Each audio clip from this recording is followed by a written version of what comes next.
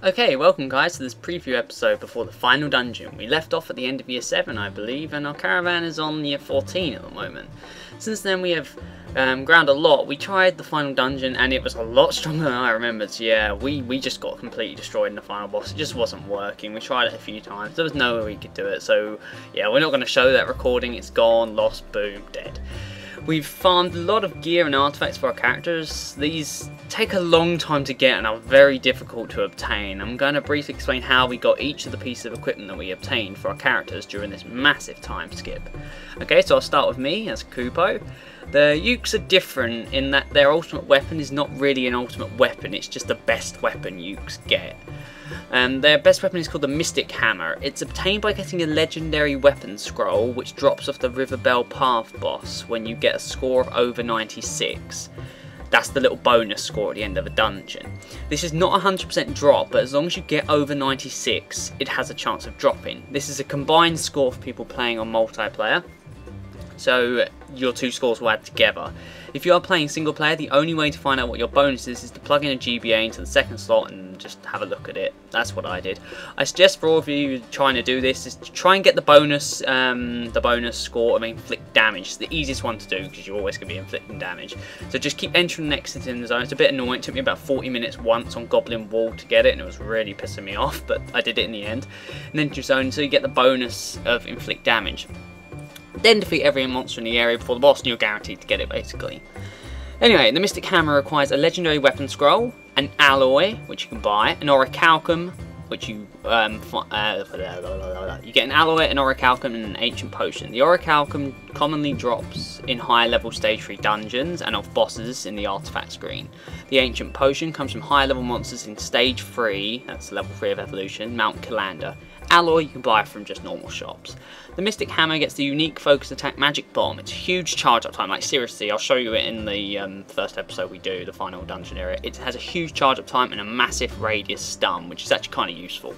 We made my character a time mail, which gives resist slow plus one, which makes me immune to slow from weaker monsters. Very useful for a spellcaster. The time armor design made with mithril is made with mithril and a worm antenna, which you can get from the little carrion worms in the village of Tida. We also made me a flame helm, which is made with two iron and a magma rock, which drops off most bombs and fire-based enemies, which will help me. I've also got a mithril helm, I never got around to getting a diamond one. Now onto the accessories. Only one may be equipped at a time. I have many accessories on Kupo. A flame badge, resist 5 plus 1. A gold necklace, resist petrify plus 1. Very useful for some bosses. If you combine like two things together, so say um, an earth chance gives you resist petrify and resist slow plus 1. If you have a gold necklace with resist petrify plus 1, you've got resist petrify plus 2. Now, that will actually make you be able to resist attacks from bosses, because they're usually counted as stronger or something, which is really useful. So you won't be able to be petrified by the ant lion, possibly. I haven't tested it on the ant lion. I've tested it on the breath from the dragon in Conall Curach, and it does provide 2 immunity if you've got plus 2, uh, which is really, really useful. Um, I've also got Twisted Spectacles, which gives spell range plus 20, which is made with eyewear techniques. Two crystal balls and one gold. The crystal balls come from the mushroom forest, the gold you can just farm elsewhere. I think that might also come from the mushroom forest. If you cast life times two, life, and then put two cures onto it, you do life and then let go of two cures at the same time, you'll um, fuse together haste, which is actually really useful, uh, seriously. And with these, um, um, with the Demon's Earring, which I my Yuke has, it gives spell duration plus 30, which is really, really useful. I think um, Clavats can get plus 60 seconds, or plus 60, whatever that means, but it didn't really work that well, we found, because we couldn't actually get it. It was just too hard. A Devil's Claw never dropped from Ravenna We had everything else, which we could not get a Devil's Claw shot from Ravenna It's made using a Demon's Kit. The design is obtained from the Mushroom Forest. One gold and a Devil's Claw. The most useful accessory I have for Kupo is the Wisdom Charm, which gives minus 10 casting time, made using a design from the Goblin Wall, a needle from Cactus in the Desert, and a Coral Whisker from Moschet Manor or Kalander's Corals. This makes my Yuke into a spellcasting machine. Like, seriously, I pretty much, as soon as I start charging a spell, it's ready to go now. It's great. It's going to be really useful for the final dungeon where time is of the essence because you are getting killed so easily. Um, my final stats before the final episode are 56 strength, 64 defense, and 65 magic. Possibly I might have more magic, so I'm going to try and get one more magic accessory, but I'll let you know if I do. Uh, right, now let's move on to Wolf. If you can't tell, I'm doing this all by myself. They're all busy. uh, Wolf's ultimate weapon is is just amazing. It really is an ultimate weapon. It's called the Dream Catcher. It's obtained by getting a lunar weapon design from the Conall Curach boss with a score of 241 plus. That may seem high, but considering the amount of monsters in the zone, it's not that high. What I will say is. Um, all these ones where I'm putting scores in, that always means level 3. They will only drop from level 3 evolutions. So you need the Lunar Weapon from Conall Curach Boss, a Wind Crystal with a score of 198 plus from the Cave Worm in Selepation Cave, and a Desert Fang, which was so annoying to get, from the Ant Lion with a score of 181 in Lynari Desert. And you also need one Orichalcum. Uh, this makes the Dreamcatcher, which like the Yukon Clavat ultimate weapon, has a base strength of plus 35. It also gives the unique focus attack Meteor Blast, which summons a meteor and drops it onto the enemy, dealing lots of damage and stunning. It's actually really useful. It's got a wide radius. The Clavat, Lilty, and Selkie ultimate um, focus attacks deal half a heart damage to the user, which isn't too bad as they are really powerful. It's kind of like an off trade-off, which is really good. Wolf has a diamond plate, a diamond belt, which are the strongest common armors made out of commonly dropping diamond ore, and orichalcum, which is seriously, I've gone through so much orichalcum. Wolf has the accuracy watch, which gives him resist slow plus 1, a speed talisman, which gives minus 10 focus attacks charge time, obtained through the Secret of Speed design from Cathuriges Mine using a needle from cactus and a Zu's beak from the Zus in the desert.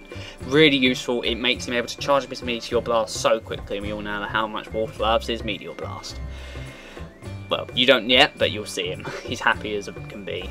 There is a better talisman that gives minus 15 charge time obtained through the design Brigandology from the Tida boss with a score of 242 plus a Wind Crystal from the Selepation Cave boss, 198 plus score, and an Orc Belt from the Cathuriges Mine boss, score 146 plus, and a Green Sphere, which has conflicting reports of it, where it's coming from. My guide or the GameFAQs I've read, they all seem to say different things, and we haven't really tested it. Some say it comes from the Tida boss with a high score, or Veo Lu Sluice high score. Personally, I think it's far more likely that it comes from Veo Lu Sluice, as Tida already has a high score drop. So try there first, and it makes sense because if you think it's a green sphere and that Iron Golem had a sphere in his chest, so it might be that. Um, Wolf also has a healing headband. It's for men only, which has a high HP regen rate. The healing kit design comes from Kilanda, uses a white silk from Wraiths from Cathuriges Minor Rebena Te Ra, a tiny crystal from the Mushroom Forest, and a remedy from Conall Curach. These are all off normal monsters. The regen rate on both the male and female varieties is insane. It can offset the damage from the focus text and make it so you barely need healing in most dungeons because of the time you're running between each mob. It's really, really good. It, it heals half a heart, then a whole heart, half a heart, then a whole heart, and it's quite often. Usually you only really regen if you're carrying the chalice, but this is really good. You combine that with the chalice, your HP is going to skyrocket. Wolf's final stats are Strength 65, Defense 74, and Magic 34. Now let's move on to everyone's favourite Clavat, Jenny. Her ultimate weapon is Ragnarok. Um, it was a total royal pain in the arse to farm. Seriously, I hate this. Why is the Clavat one so annoying? I mean, the Lilty one should be the most annoying, but no, this one is. It's designed the des its design, the dark weapon, comes from the worst level ever, Rebena with a score of 187 plus on the boss, which is just horrible a Cursed Crook from the Goblin Wall boss with a score of 173 plus, an Ancient Sword from the River Belle Path boss with a score of 150 plus, and an Orichalcum. What I would say is if you just don't get the design to drop, remember it's only a 1 in 4 chance that the boss will drop one of these things. You've really just got to keep at it. I'm lucky I got um, Jenny scrolling 1 out of 1 on the Rebena Te Ra thing. It took me forever to get the Desert Fang for Matt's thing, and don't even get me started on the Cursed Crook. I basically farmed it all for them because they're all busy, so I basically did this all myself. um, Jenny's helped with a few things, but yeah, it's just a nightmare. I don't wish this on anyone, but it's fun, I guess. It's just not fun zoning in and out to try and get the um, right bonus line. Ragnarok's focus attack is Shadow Blade, which is insanely powerful. It one-shots most weaker enemies, but sadly is it's pretty hard to use as you can't just like overshoot the enemy. You have to land on the enemy. It requires pinpoint precision. If you're hit by it, you are engulfed in a shadowy free hit attack, usually ends your life. So yeah, you get hit by that and you're a weak enemy, you're pretty much dead. It's really useful. Of course, it takes half a heart of you as well. Jenny has a diamond plate. We tried to farm the ultimate armor, a Gaia plate, which has plus 30 defense, Clavat only. Design comes from the from the Selepation Cave boss 247 plus score, a Lord's Robe score 106 in the Moschet Manor, and a King's Scale from the Daemon's Court boss 129 plus score, and two Orichalcums, not one but two. But sadly we couldn't get the design to drop and the LPS to end someday, and yeah, we both agreed. An extra, I think it's like free defense, isn't really worth it. Jenny has a Storm Shield, which gives plus 1 Thunder Resist, and a Rune Shield, which increases the range of spells like the Yuke accessory, which is really useful. The Rune Shield is made via the Magic Shield scroll from Conall Curach, a Bronze, and a Coral Whisker. The Magic Shield isn't from a boss, you've just got to find it in the zone in a chest or something, or an enemy uh, bronze and a coral Whisker. The ultimate shield, which we didn't get around to farm, is the Chocobo shield, which has plus 25 defense made from the legendary shield scroll from Moschet Manor boss, 133 plus score, Orichalcum times 2, and a yellow feather, which is also from Moschet Manor. Jenny has a resist poison plus 1 accessory and a resist ice plus 1 accessory her resist paralysis accessory, but most of all she wears the female region accessory as the tank is really important. The Jade Bracer is made from the fashion kit from Moshet Manor. A jade, it requires a Jade, two silvers and a pressed flower which comes from Conall Curach. Jenny's final stats are Strength 74, Defense 69 and Magic 38. Yeah, no 69 jokes guys.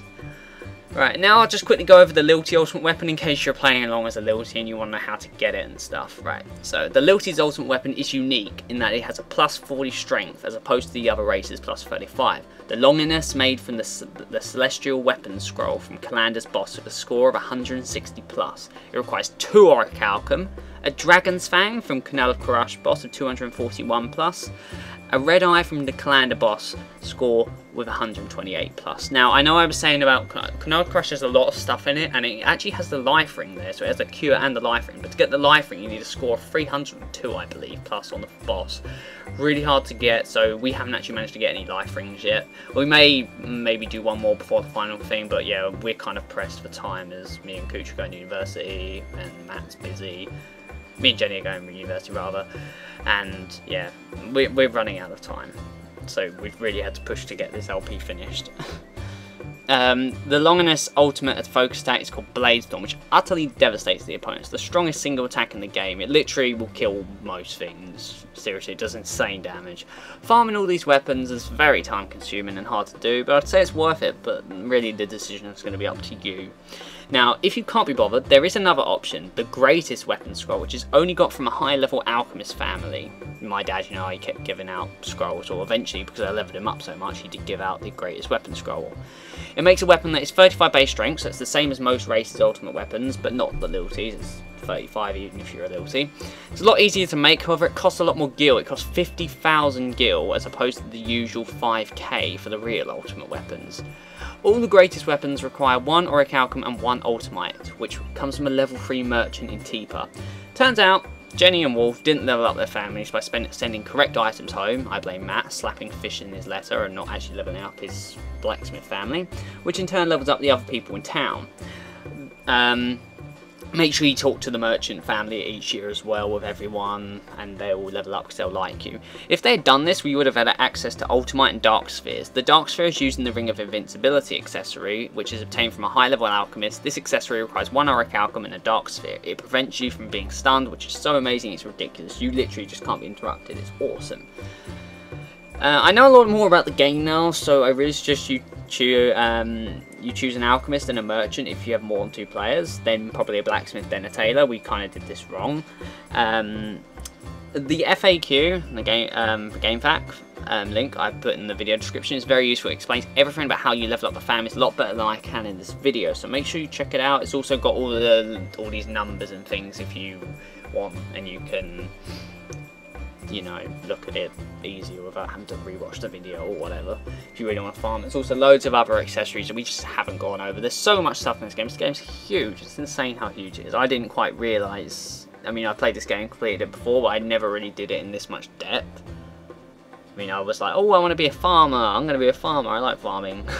no, don't be a farmer.